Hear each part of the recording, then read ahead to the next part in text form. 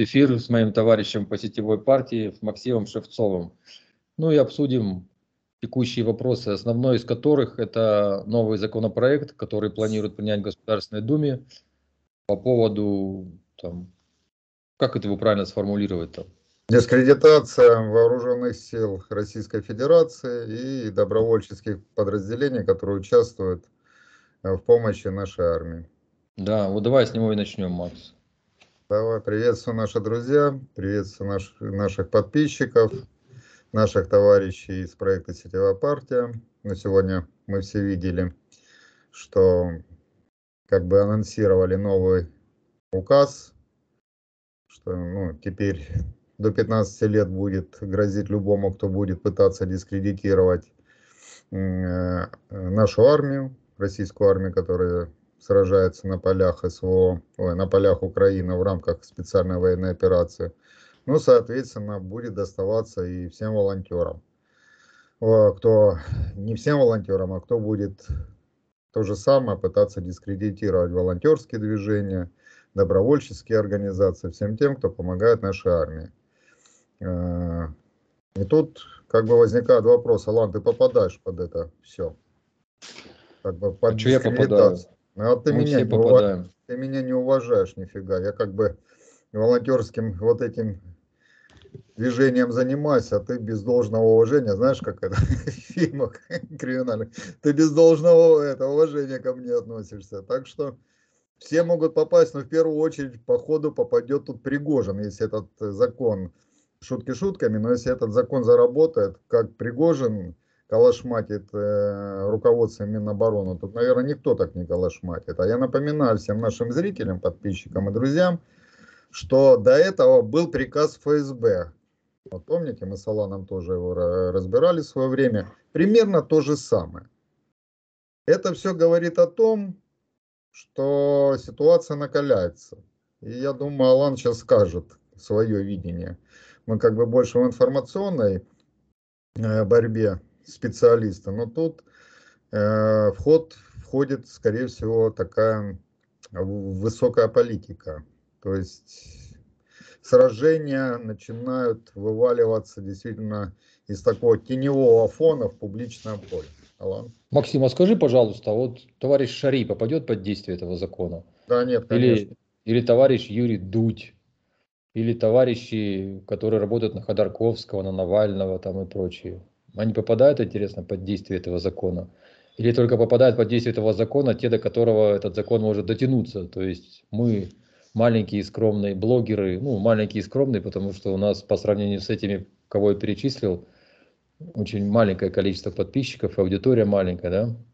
Ну, получается, что это удар большей части, по патриотической части нашего вот этого блогерского информационного сообщества. Почему? Потому что люди проблемы озвучивают некие, подсвечивают их, но не из, как сказать, жажды потешиться, как ты говоришь, посмеяться, а просто желание донести. И очень часто, ну, ни для кого не секрет, да, что проблемы есть в армии, это озвучивалось, по крайней мере, с обеспечением и со всем остальным. Благодаря этой информационной работе люди начали собирать деньги, там, покупать необходимое, вести на фронт, озвучивать с фронта, что еще не хватает. И вот такая вот работа волонтерская настроилась. А без этого, без понимания, что есть проблема, нет возможности ее решить, правильно? Да, нет проблемы, не, э, нету озвучки о проблеме, значит проблемы нету. Все старо как мир, все правильно. И при, и при этом получается, Максим, все вражеские ресурсы, они свободно будут вещать все, что считают нужными. Альтернативы им не будет. Поэтому, я, ну, по моему субъективному мнению, я никого ни в чем не обвиняю. Но такой закон, если он вступит в силу, тем более 15 лет, это не 15 суток, да, мы понимаем, что это больше, чем за убийство.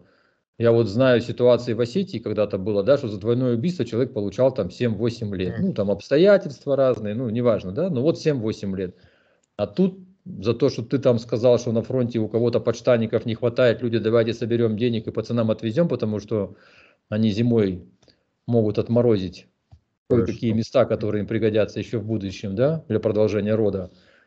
Ты теперь получаешься враг, да, Преступник. дискредитирующий. Преступник. Преступник. Выводишься уже в нелегальное поле, становишься человеком, на которого будут накинуто ограничение. А мы же понимаем, сейчас можно на любого натянуть. Э, По такой закон кого хочешь можно, да, подогнать? Да? Запросто. Не только Пригожина. Пригожин, понятно, у него целая ЧВК Вагнер, его еще иди попробуй арестуй. Мне хочется посмотреть на этих сотрудников полиции, которые придут арестовывать Пригожина. Как бы понятно, что до него-то вряд ли. Но Талан не думает, что это все каким-то образом связано э, роликом, выложенным в инфополях буквально позавчера с генералом Мотовниковым. Вот не кажется тебе?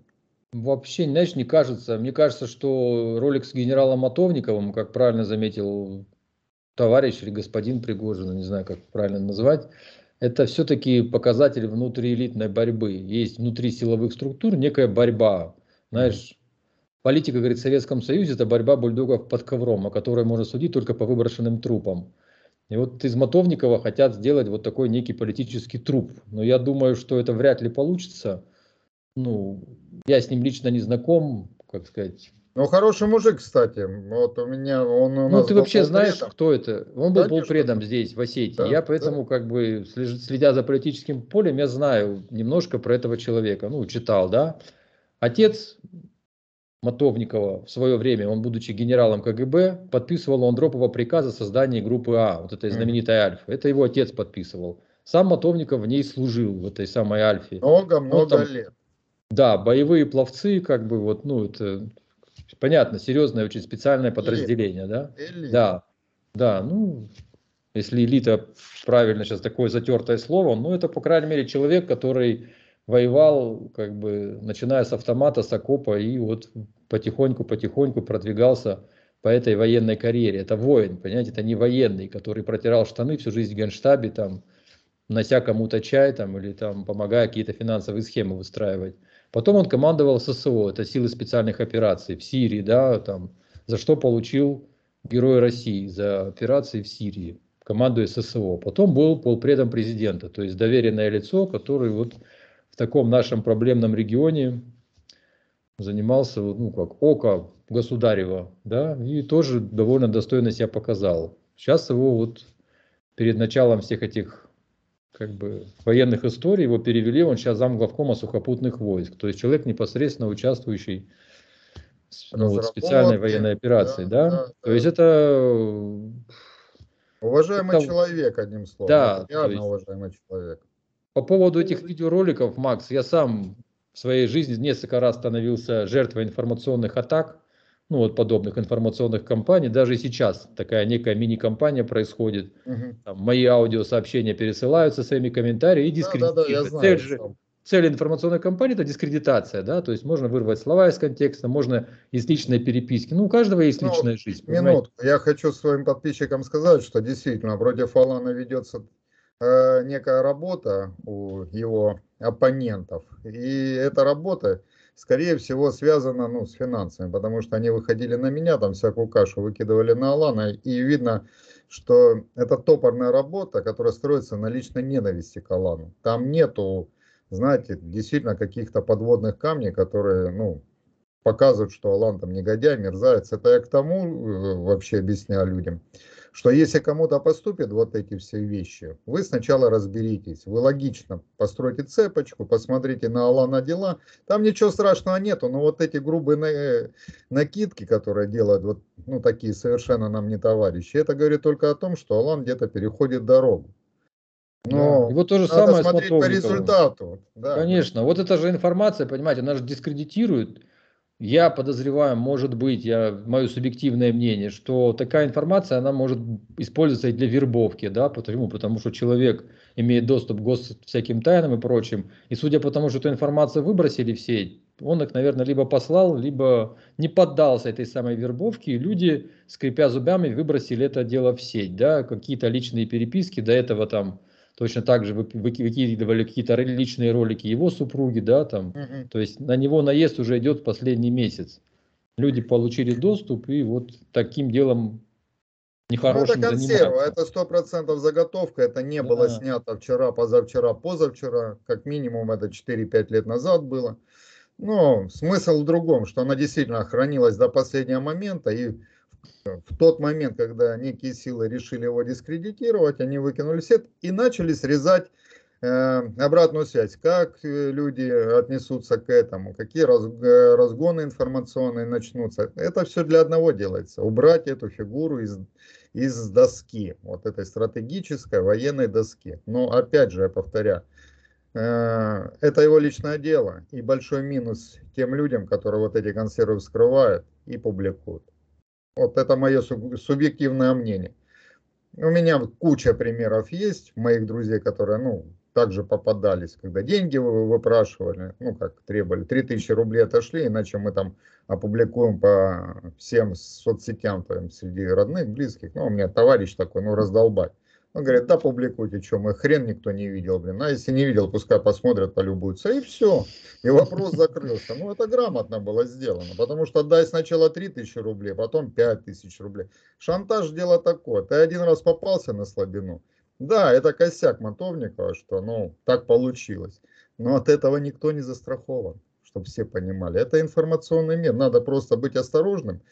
Эм, в дальнейшем и как бы сохранять информационную чистоту. То есть на телефон не надо вот это записывать секс с женой там или с себя голова, потому что в любой момент тут карточки взламывают с деньгами.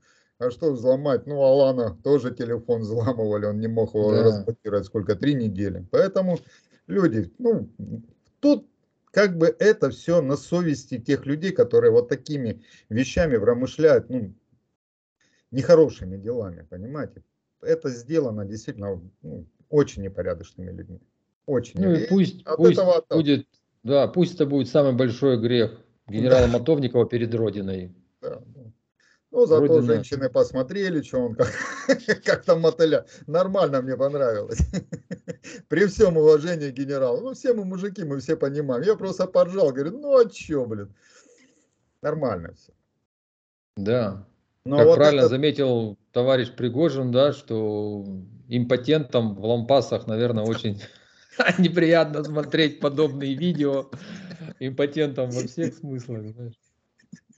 Им неприятно такое смотреть, и вот, соответственно, они решили этим делом, наверное, воспользоваться. По мнению господина Пригожина, товарища Пригожина. Ну, а по закону поэтому, ну, может, оно и хорошо, конечно, что такой закон э, в Пиндюре, но вот Алан правильно говорит, Дудя, Дудя по нему не притянут, не посадят. Галкина по нему не притянут, не посадят. Зятя Шойгу не притянут, не, э, не привлекут к ответственности. Это все каким-то образом будет бить по нам, простым блогерам, которые действительно скажут, там тепляков не хватает. О, это дискредитация, все нас хватает. Иди сюда, 15 лет, будьте любезны. И что тогда будет? И тогда в информационном поле будет у нас и шари одни звучат, и будут звучать дуть, кто там у нас еще? Ходар... Ну, конечно, Ходорковский. Да. Вот это вся муть и будет работать. Навального там у него Навального. большие сейчас ресурсы в Ютубе везде. То есть расчищают поляну от патриотически настроенных граждан в пользу откровенных врагов. Потому что отключить полностью интернет они не смогут.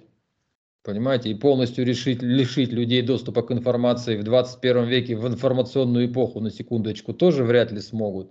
Соответственно, будут бить вот по людям с патриотической ориентацией какой-то политической. Да? А все это потому, что нет идеологии, понимаете, нету вот этих маркеров. Если был бы маркер, как при Сталине было, этот за народ, за советскую власть, это свой да, при должной проверке, там, э, как в 1937 году было, Ежовщина, там это вся троцитская, зиновьевская тема, они ж на простых людей, на, на порядочных военачальников накидывали, вот это ермо предателя, и осуждали, убивали. А потом, когда это вскрылось, ведь можно человека по-разному уничтожить. Правильно? Вот как смотовника. Закинуть, вроде факт есть, но вроде все его результаты работы показывают, что это настоящий патриот нашей Родины, да? Мало Также... того, что патриот, офицер, воин. Да, Я еще раз да. говорю, это не человек, который штаны протерял в штабе всю свою жизнь. Он всю свою жизнь вот участвовал в войнах, в которых просто, участвовала Россия. Просто поймите правильно, дискредитировать можно любого. Алана, меня, Сергея Добрышкина, как это были во времена вот три года назад, да?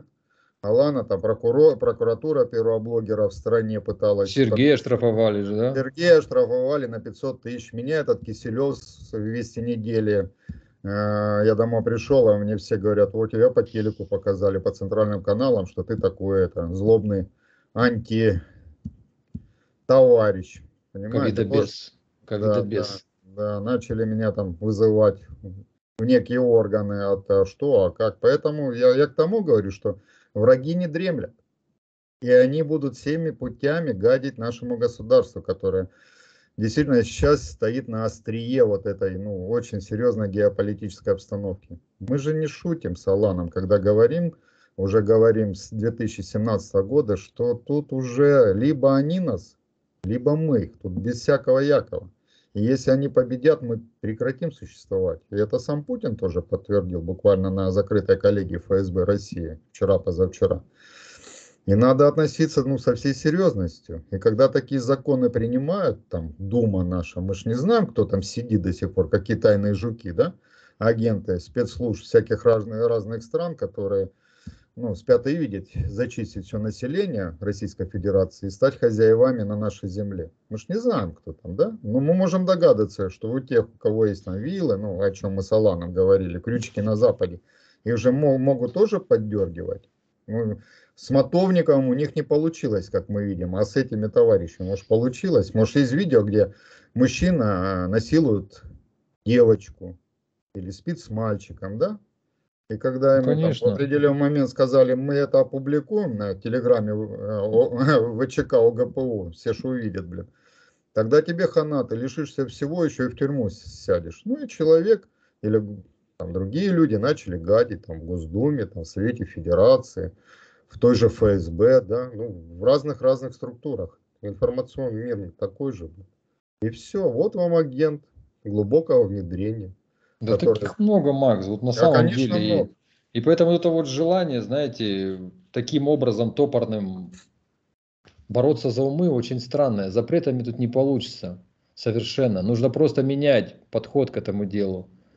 Потому что запрет это не управление сознанием масс, да. а информационная эпоха это про управление сознанием. Когда вы запрещаете своим, а при этом не можете запретить всем остальным вражеским структурам, вы же им не можете запретить, у вас технических возможностей для этого нет. Соответственно, вы просто для вражеских структур зачищаете поляну, информационное поле. А чтобы что, с какой целью? Вот просто бы хотелось бы узнать. Тем более такие срока. Естественно, сотрудники полиции захотят, у них там план есть определенный, да, да на, на эти темы. Да, показатели нужно будет выполнять. И какому-нибудь пятнаху врубят за то, что он там написал, что мобилизованных каких-нибудь кальсонов не хватает. Люди, давайте соберем деньги, отвезем, ребят поддержим. И за это можно уже получить будет срок. Судя по этому законопроекту, он пока еще не стал законом, его еще не приняли. Мы поэтому заранее делаем с Максом видео, как бы ну, просто обозначить, показать плюсы да. показать минусы на самом деле. Но у нас нет задачи опорочить этот закон или там его оттянуть. Просто показать всем, чтобы люди понимали, что этот закон это тот же слон посудной лавки. Может помыслы и светло, но, как говорит Алан, это будет бить только в нашу сторону. И понятное дело, даже чтобы все не переживали, главное во всем этом деле умысел, преступный умысел, да? Вот если вам заплатят, допустим, за дискредитацию власти, это одно дело, да?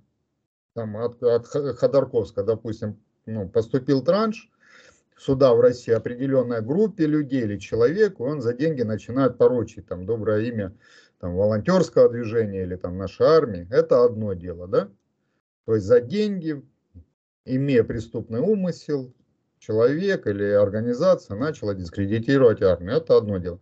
Но мы-то понимаем, как в нашей стране работает. И мы это понимаем на примере Алана, Сергея меня, как это работало э, не в далеком прошлом, в 2020, 2021, 2022 году. Мы под пресс очень серьезно попадали. Именно из-за того, что вот, получалось так у нас в стране, что мол, закон вроде он нормальный, но он бьет почему-то в одну сторону.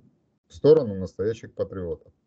Поэтому, господа депутаты, Подумайте, пожалуйста, мы как из ваши избиратели даем вам такой наказ. Внимательно прочитайте закон перед тем, как его принимать. И задумайтесь о его последствиях.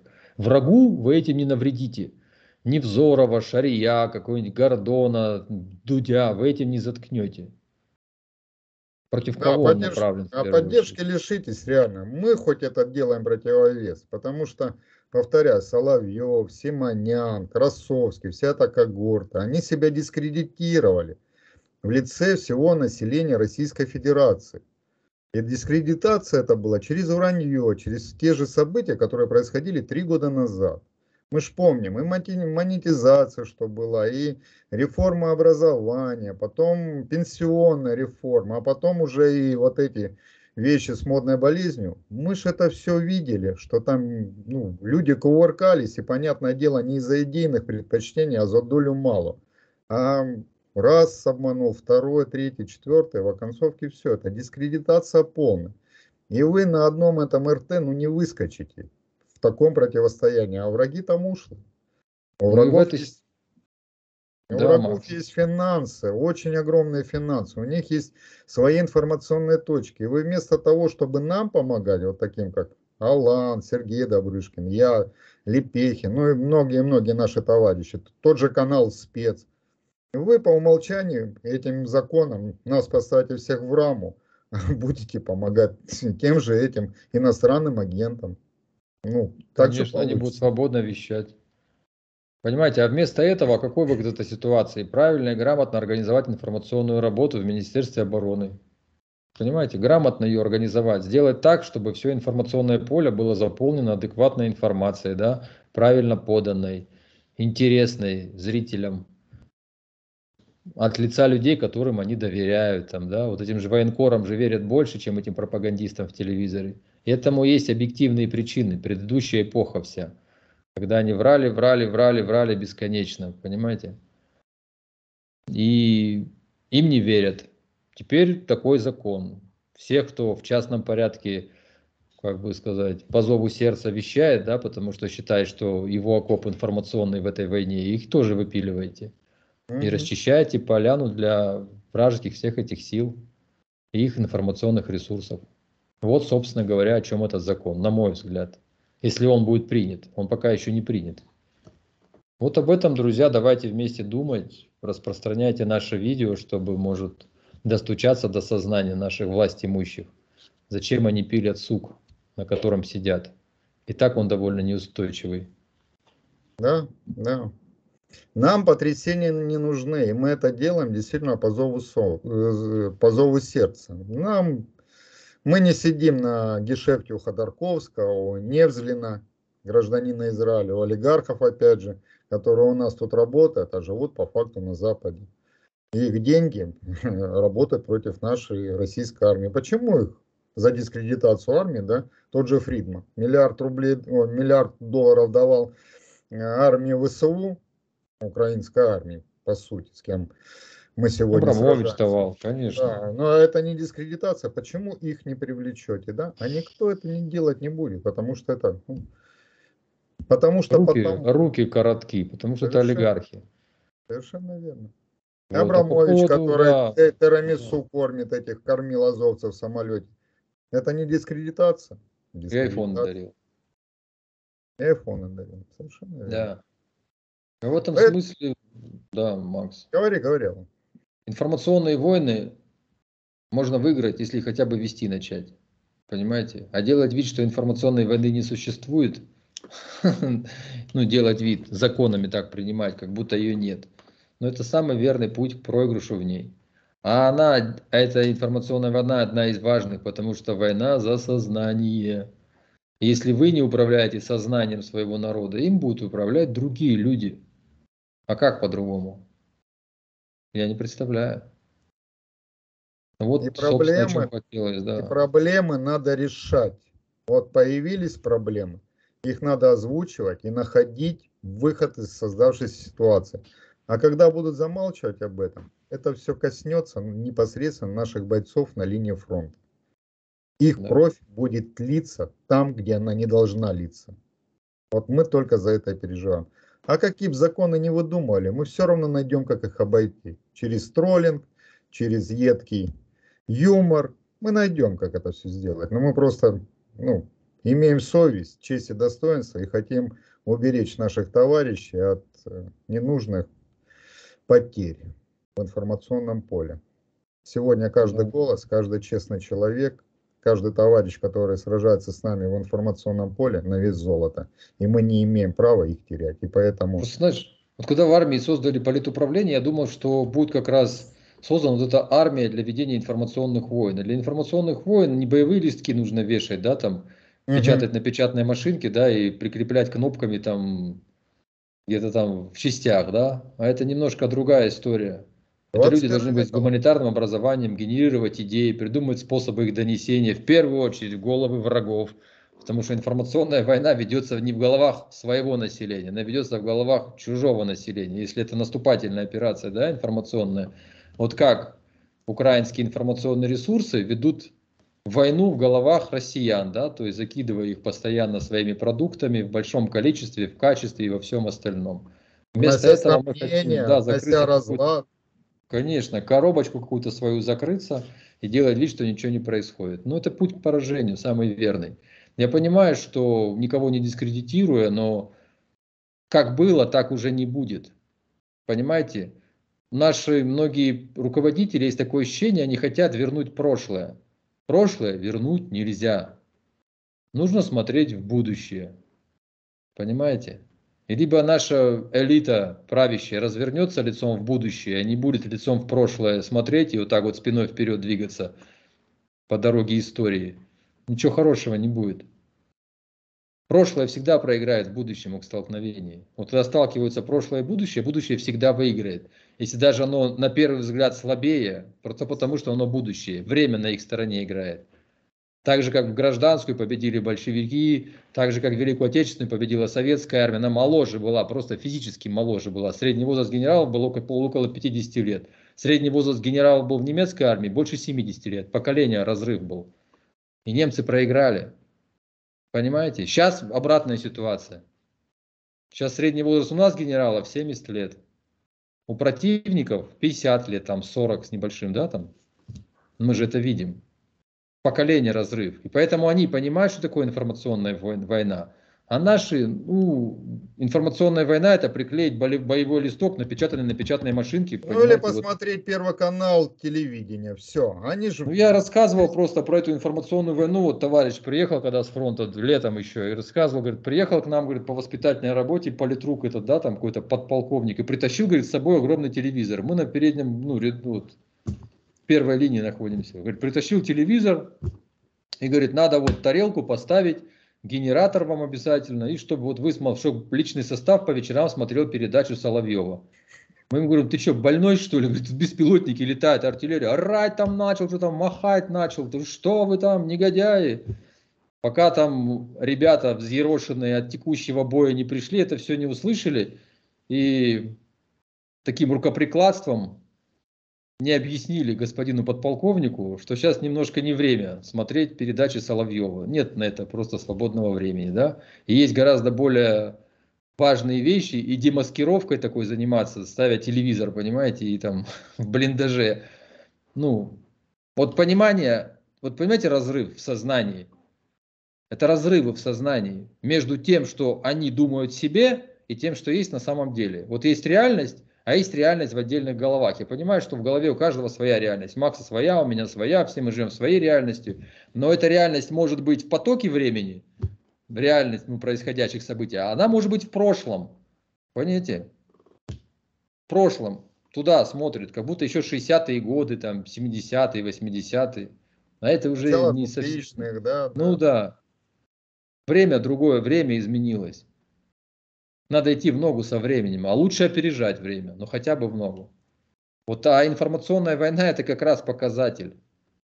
Большевики Война. победили, потому что они победили в информационной войне. Совершенно Ленин верно. был гений информационной войны. Да. Это информационная война была война за умы. Они победили в войне за умы у того населения Российской империи, у, у этих рабочих, крестьян и, соответственно, воинов, военных, да, солдат и офицеров. Информационная война победили в ней. У нас есть колоссальный опыт, огромное количество специалистов в стране. Почему они не занимаются этим делом? Почему это не организовали? У нас политуправление целое есть. И какой оно ерундой занимается, ну... Ну, потому что я есть просто... указания, Алан, и они выполняют все приказы Конечно. сверху. А Конечно. я подтвержу слова Алана, есть куча специалистов. В главном разведывательном управлении, ну, сегодня нету этого названия официально, у нас, опять же, Сердюков товарищ, расформировал в свое время ну, такое супер элитное, на мой взгляд, элитную организацию, есть специалисты классные ФСБ, в АП есть эти специалисты. Да везде они есть, среди гражданского населения. При должном образовании, опыте, опыте работе в информационном поле, ну, даже мы с Аланом можем ну, произвести тот контент, который ну, необходим, если были бы необходимые силы и средства. Даже на этом уровне можно. Но самое главное, мы знаем, что надо. Да, Понимаете, да. что надо. Ну, у нас консерватизм. У нас действительно люди, которые сегодня сидят на вершине, они хотят это все заморозить. И чтобы было как прежде, но при этом выиграть войну. А мы с Аланом уже действительно с 2017 года 5 лет говорим, это невозможно. Мы вошли в пиковое время. Вот просто время колоссальных перегрузок. И война это показывает все. И мы, да. чтобы вывернуть это все, найти эти проблемы, мы возвращаемся к временам Сердюкова, к временам Булгакова. Понимаете? Мы основываемся на э, источниках свободной информации. Это ж легко проверить. Понимаете? И когда сегодня нас пытаются в раму ввести, ну не нас с Аланом, а все про патриотическое информационное поле, это ну, ударит бумерангом и очень скоро ударит. Понимаете? И причем же он ударит, ты понимаешь, вот по нам. Вот мы телеграм-каналы ведем со своей фотографией от своего имени. И у тебя, у меня, да, мы ничего не скрываем. Соответственно, выиграют анонимный телеграм-канал, да. да? Вот анонимные могут любую помойку лить, там концов не найдешь, как бы мы тоже знаем, как сделать анонимный, чтобы никто да. не узнал. Но у меня принципиальная позиция всегда была. Все, что я говорю в соцсетях, я говорю от своего имени, подписываюсь тоже своим именем, да, то есть я могу ответить как бы за Пожалуйста. И, соответственно, мы первые попадаем под удар. Ну, мы, я скажу так, мы с Аланом модераторы проекта «Сетевая партия» в Телеграме. Ну, Алана свои каналы есть. У нас принципиальная позиция. Если мы выражаем свою точку зрения, это точка зрения официально с нашей стороны. Нам нету как бы резона вилять одним местом и быть, ну вот, знаете, как наши полководцы великие, сидеть на стуле в 2020 году и сидеть на стуле в 2021 году. Так не получится, разорвет наполовину. И сегодня разрыв и идет. Из-за этого разрыва наши ушлые товарищи и пытаются законами поставить всех в какое-то ограниченное поле. Не сработает это. Поймите правильно. Это ударит наоборот по всему патриотическому полю. И враг не заметит по-любому воспользуется этой возможностью. Накатает заявление, накатает там анонимки, еще что-то. А бюрократическая машина будет вынуждена заниматься вот такими людьми, как мы. И до Путина не достучаться. Он высоко. У него других дел хватает. А когда одного посадят на 15 лет, другого третьего, то доверия власти вообще никакого не будет. И эта власть превратится во врагов. И тогда что будет? А будет то же самое, как в 1917 году. Вот и все. Все очень просто. И схема понятна тех товарищей, которые пытаются таким образом оседлать волну. Волну, как и песок, как воздух, как ветер, никому никогда не удавалось оседлать. Так же и тут. Мы свободные вольные люди. И у нас одна цель, чтобы вот, этот, вот этих сатанистов мы уничтожили. Потому что другие их не уничтожат. Уничтожат только мы. Многонациональный народ Российской Федерации и их союзники. И мы их уничтожим только какой ценой? как любит говорить Аллах. Что, давай заканчивать, да, Макс? Давай. Мы сегодня мысль, которую хотели донести, донесли. Наша просьба к вам, отправьте, может, видео своим депутатам, тем, кто будет голосовать за этот законопроект, но хотя бы просто, чтобы вы были в курсе. Понимаете? Потому что это серьезная вещь, и ничего позитивного в подобных инициативах я не вижу. Тем более 15 лет Понимаете? А при желании, как вы знаете, у нас дела шьют быстро, там, за любой пост в Телеграме, где ты там написал, что вот Макс писал, на тепловизоры собирал деньги, это uh-huh. уже дискредитация. Раз ты собираешь, значит их нету, раз, значит ты ставишь под сомнение мудрость да, великих да. там товарищей. Не, не, не, а тут не вариант, тогда получается я как волонтер тоже. Я скажу, подождите, блин, я занимался волонтерской деятельностью, это вы меня... Подожди, до волонтерской деятельности тоже дойдет скоро очередь с такими темпами. Я тоже так думаю, да. Потому да. что скажут, это же дискредитация, какие волонтеры, чего вы туда поставляете? Сейчас возьмешь ты, Макс, напихаешь какой-нибудь там опасный вирус в эти консервы или в эти подштанники что-нибудь там набрызгаете, знаешь, это же, это лиха беда начала. Да, некачественный тепловизор, это начала. тоже дискредитация, блин. Надо было нормальный. Не бушный гнать, а новенький, китайский. В общем, друзья, спасение утопающих – дело рук самих утопающих, поэтому давайте объединяться, поддерживать друг друга. А там посмотрим. Да. Всего Спасибо доброго. большое.